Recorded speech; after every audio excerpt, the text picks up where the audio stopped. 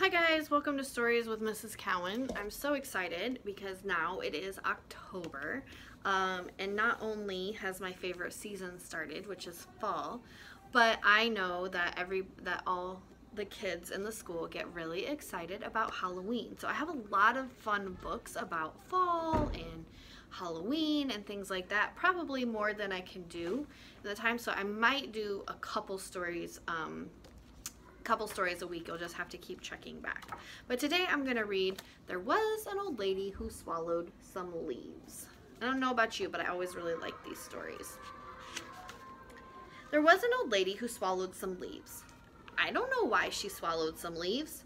Perhaps she'll sneeze. There was an old lady who swallowed, swallowed a shirt.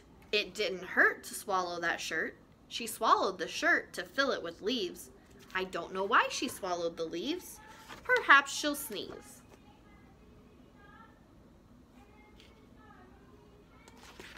There was an old lady who swallowed a pumpkin. She wasn't a bumpkin to swallow that pumpkin.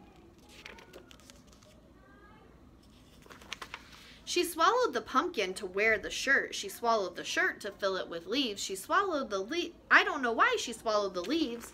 Perhaps she'll sneeze. There was an old lady who swallowed a pole. She was on a roll when she swallowed that pole. She swallowed the pole to prop up the pumpkin. She swallowed the pumpkin to wear the shirt. She swallowed the shirt to fill it with leaves. I don't know why she swallowed the leaves. Perhaps she'll sneeze.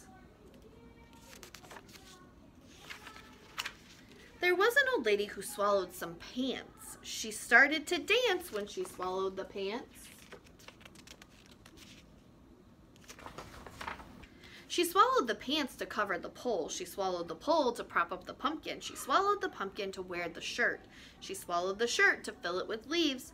I don't know why she swallowed the leaves. Perhaps she'll sneeze. What do you guys think? Have you figured it out yet? There was an old lady who swallowed a rope. She didn't mope when she swallowed that rope. She swallowed the rope to tie up the pants. She swallowed the pants to cover the pole. She swallowed the pole to prop up the pumpkin. She swallowed the pumpkin to wear the shirt. She swallowed the shirt to fill it with leaves. I don't know why she swallowed the leaves. Perhaps she'll sneeze.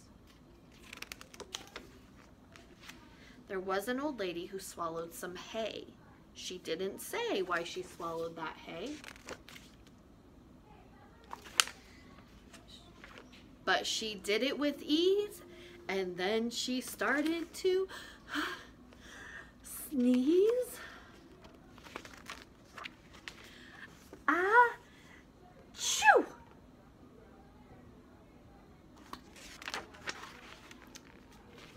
Happy fall.